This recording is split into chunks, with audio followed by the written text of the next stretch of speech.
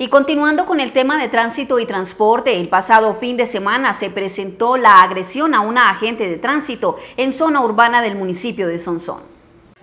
Dicho incidente ocurrió durante un operativo de control en una de las zonas con mayor congestión vehicular del municipio. Se hizo una labor importante, una labor pedagógica.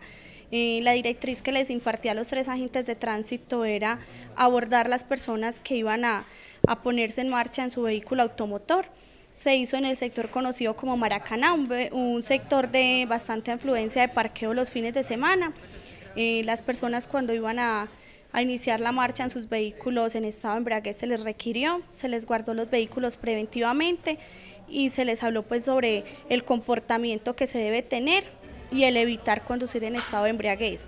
Se inmovilizaron preventivamente 12 motocicletas, Desafortunadamente un conductor no acató la norma, no acató el requerimiento, por el contrario eh, atropelló a una de las agentes de tránsito, a Diana.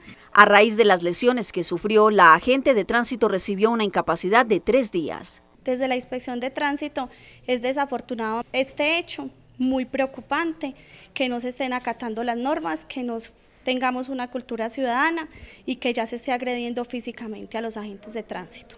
Ella sufrió unas lesiones en una pierna y en un brazo, por fortuna no fueron de consideración, pero para esta delegada es muy desafortunado el suceso. Este caso fue puesto en conocimiento de la Fiscalía por violencia contra servidor público.